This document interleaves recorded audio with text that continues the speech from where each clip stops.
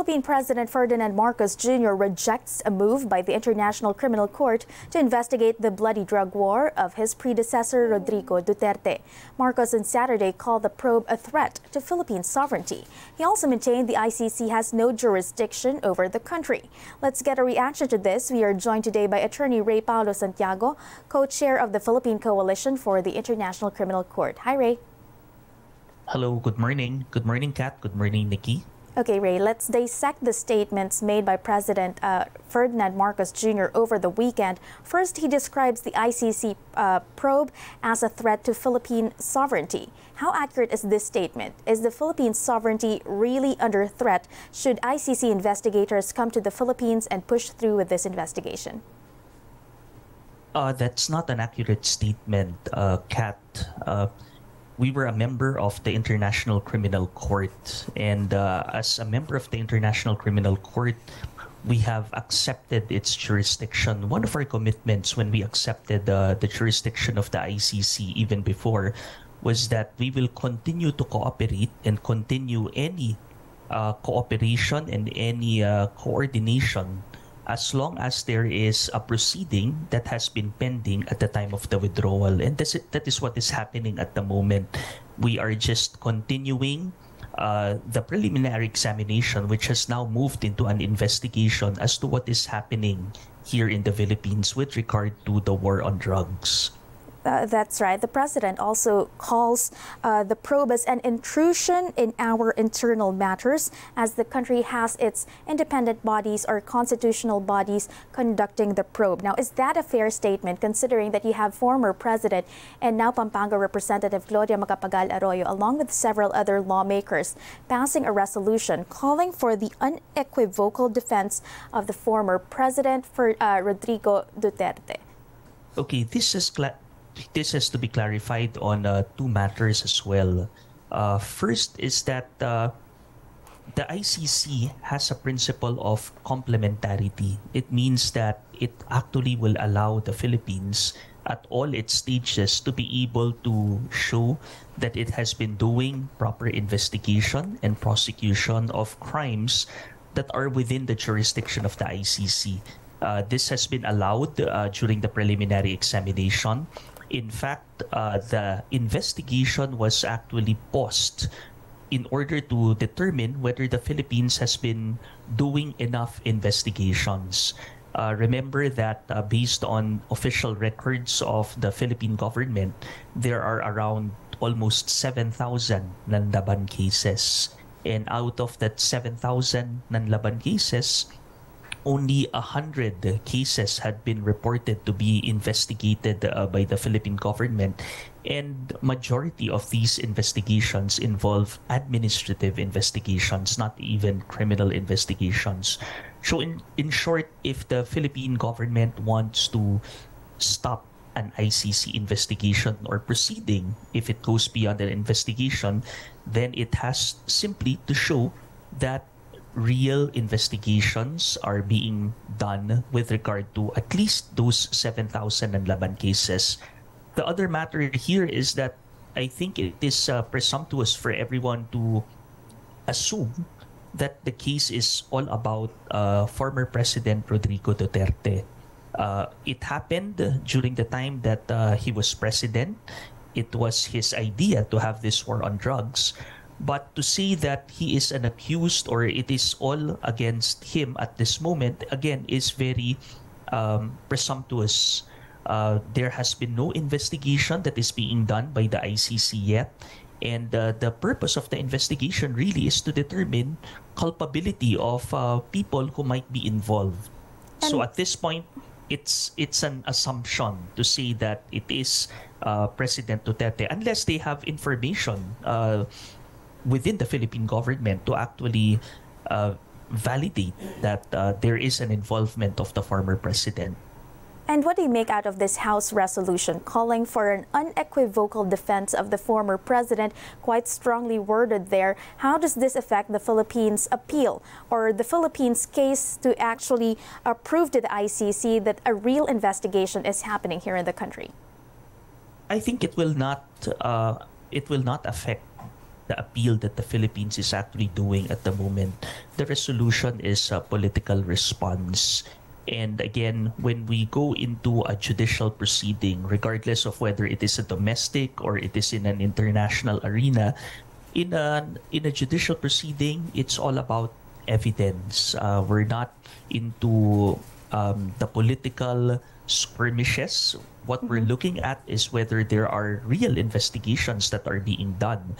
So I think um, you know the the resolution will only show to the international community how uncooperative we are if we are not showing that uh, we are indeed working towards justice and accountability for the victims of the war on drugs. Okay, and you also have the ICC invoking uh, that under the Rome uh, Statute, as you mentioned earlier, all uh, all investigations that were uh, that began before the Philippines actually pulled out from the ICC in 2019 is still under its jurisdiction. The Supreme Court of the Philippines also earlier uh, released a ruling saying the Philippines is compelled to cooperate with the ICC. Now, my question is, with these um, facts laid out, how much weight does President uh, Ferdinand Marcos Jr.'s statements over the weekend actually have? Uh, again, my my personal my opinion here is that uh, you know it's more of a political statement by our president at the moment. Uh, it does not add to the evidentiary nature that is needed um, or evidentiary requirement that is needed by the ICC uh, to show that investigations are actually ongoing. Uh, these are words, but again, if you are looking for evidence, the best evidence is to just give the ICC the number of investigations uh, to be very open and transparent because the ICC is not here to insist its jurisdiction if the Philippines is able to show that there is indeed a, a domestic system that allows justice to uh, happen for the uh, for the victims of the war on drugs. And how do these political statements actually affect the Philippines' standing and um, uh, an image in the international community? Uh, I, I don't know if uh, I don't want to say how how it affects the image of the Philippines. What I want to point out here is that you know, as a Philippine government, it wants to show that it respects the rule of law. It wants to show that it is all for transparency and accountability. So I think the better way of approaching this, um, again, an unsolicited advice to the president, is to mandate the government to um, pursue uh, the investigations to show that um, we're not looking at just a hundred uh, investigations on the war on drugs. That uh, we are investigating all the 7,000 nanlaban cases. Again, that's a start.